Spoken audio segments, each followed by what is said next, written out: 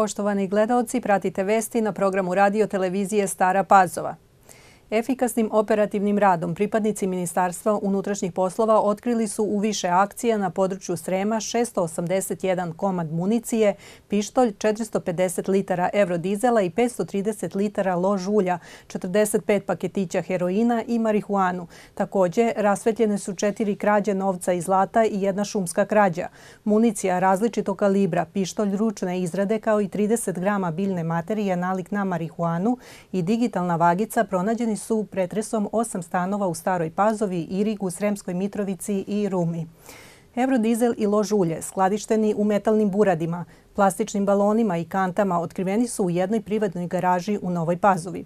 U stanu BM starog 44 godina u Sremskoj Mitrovici pronađen je i zaplenjen heroin. Nakon zadržavanja do 48 časova i saslušanja u Višem javnom tužilaštvu u Sremskoj Mitrovici, osumnjičenom je određen pritvor do 30 dana. U redovnom postupku nadležnim tužilaštvima biće podneto 10 krivičnih prijava protiv 10 osoba zbog krivičnih dela, nedozvoljeno držanje oružja i eksplozivnih materija, nedozvoljeno postupanje sa eksplozivnim i zapaljivim materijalom, neovlašćena proizvodnja i stavljanje u promet opojnih droga, neovlašćeno držanje opojnih droga, krađa i šumska krađa. Premijer Aleksandar Vučić izjavio je danas da su tolerancija i različitost prednosti srpskog društva i najbolji način da se odbrane srpski interesi i zaštiti zemlja. Različitost je naše bogatstvo, a tolerancija uslov naše budućnosti, mira i stabilnosti, rekao je Vučić u obraćanju na konferenciji povodom Međunarodnog dana tolerancije Srbija na putu ravnopravnosti i tolerancije iskustva poverenika za zaštitu ravnopravnosti.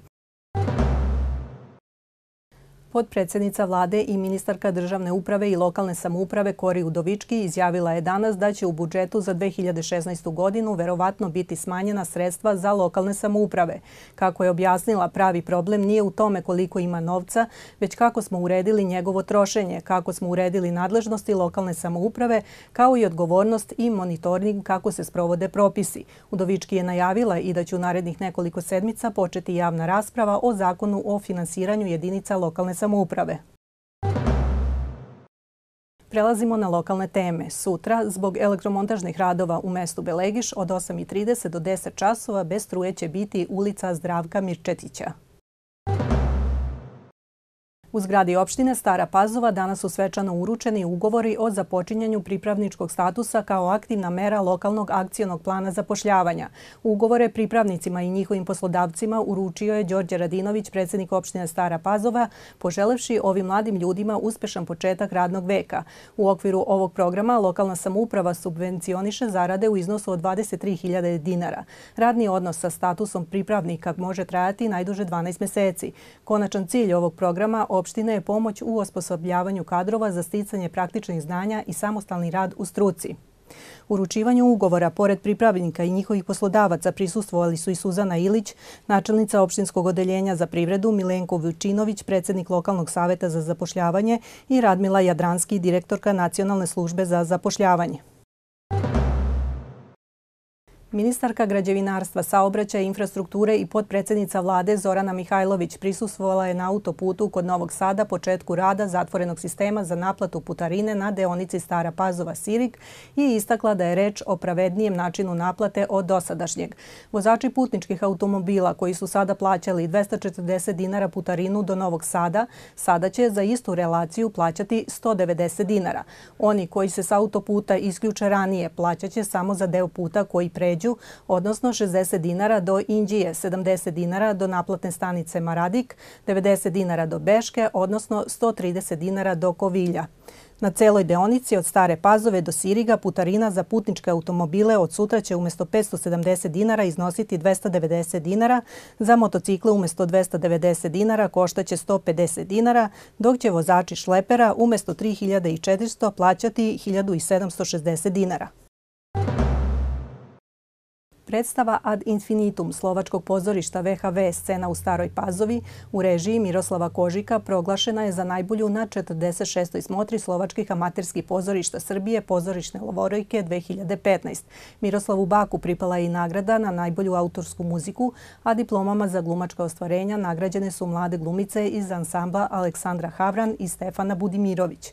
Predstava Ad Infinitum dobila je i nagradu Nacionalnog saveta Slovačke nacionalne manjine i stekla pravo učešća na jednom od najvećih pozorišnih festivala u Slovačkoj republici Scenska žetva u Martinu. Drugoplasirana predstava na sinoć zatvorenoj smotri je predstava amatera iz Vojlovice, a treću nagradu dobilo je amatersko pozorište iz Padine. Vesti sporta. Futbaleri Radničkog pobedili su u Novoj Pazovi u 14. kolu Srpske lige područje Vojvodina, Banat iz Zrenjanina sa 2-0. Omladinac iz Novih Banovaca je igrao 0-0 protiv TSC-a u Bačkoj Topoli. Dunav je u Starim Banovcima igrao sa Radničkim i Šida 1-1. U 14. kolu Novosadsko-Sremske lige jedinstvo je u Staroj Pazovi pobedilo budućnost iz Gložana sa 4-1. Hajduk 1925 podunavac iz Belegiša je u 14. kolu Sremske lige pobedio Partizan u Vitojevcima sa 2-0, a Jadran iz Golubinaca igrao u Divošu protiv Hajduka 0-0.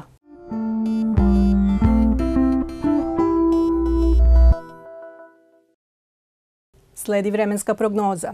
Sutra će jutro biti vedro, mestimično sa kratkotrajnom maglom. Tokom dana biće sunčano i veoma toplo za ovo doba godine.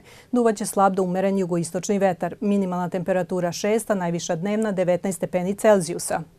Pratili ste vesti na programu radio televizije Stara Pazova. Hvala vam na pažnji. Ostanite uz naš program.